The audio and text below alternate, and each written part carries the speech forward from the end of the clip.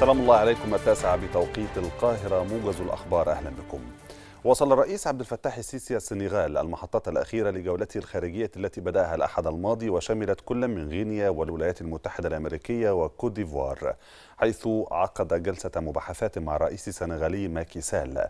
وقال المتحدث باسم رئاسة الجمهورية السفير بسام رادي إن جولة الرئيس الخارجية لمنطقة غرب إفريقيا تأتي في إطار حرص مصر على تكثيف التواصل والتنسيق مع أشقائها الأفارقة وكذا مواصلة تعزيز علاقاتها مع دول القارة في مختلف المجالات. أدى وزير الدفاع السوداني عوض بن عوف اليمين رئيسا للمجلس العسكري الانتقالي أمام رئيس القضاء السوداني كما أدى الفريق كمال عبد المعروف الماحي نائبا لرئيس المجلس العسكري الانتقالي. وكان الفريق أول عوض بن عوف قد أعلن عزل الرئيس عمر البشير والتحفظ عليه في مكان آمن وتعطيل الدستور وتشكيل مجلس عسكري انتقالي لإدارة البلاد لمدة عامين وإعلان فرض حالة الطوارئ لمدة ثلاثة أشهر. وأكد بن عوف في التزام السودان بكل المعاهدات والمواثيق الموقعة. يعقد مجلس الأمن الدولي جلسة اليوم لبحث التطورات في السودان بناء على طلب الولايات المتحدة وخمس دول أوروبية أخرى.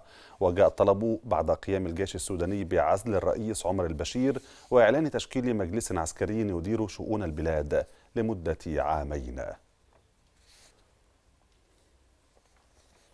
أعلنت قيادة العمليات المشتركة في العراق بدء عملية عسكرية جديدة لملاحقة بقايا تنظيم داعش الإرهابي في محافظتي صلاح الدين وكركوك ونينوى شمالي البلاد. أسفرت عن حرق 15 ثكنة للتنظيم. من جهة أخرى أعلنت وزارة الداخلية العراقية اعتقال ثلاثة إرهابيين في مدينة الموصل بمحافظة نينوى بتهمة انتمائهم لتنظيم داعش الإرهابية مضيفة أنه تم إحالتهم للقضاء لاستكمال التحقيقات.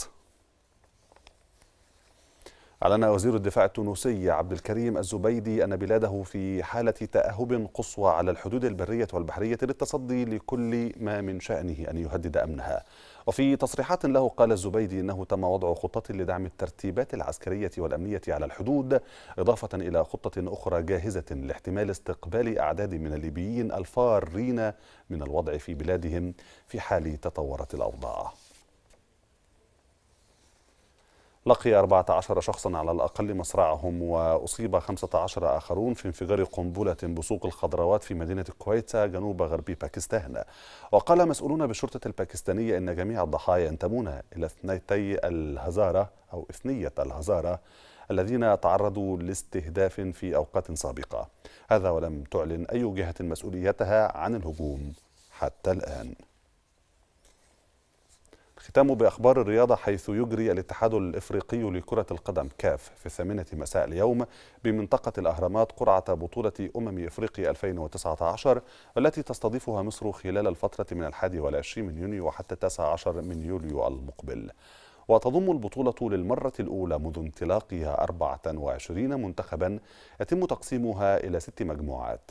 يأتي المنتخب المصري في التصنيف الأول برفقة منتخبات الكاميرون ونيجيريا والسنغال وتونس والمغرب.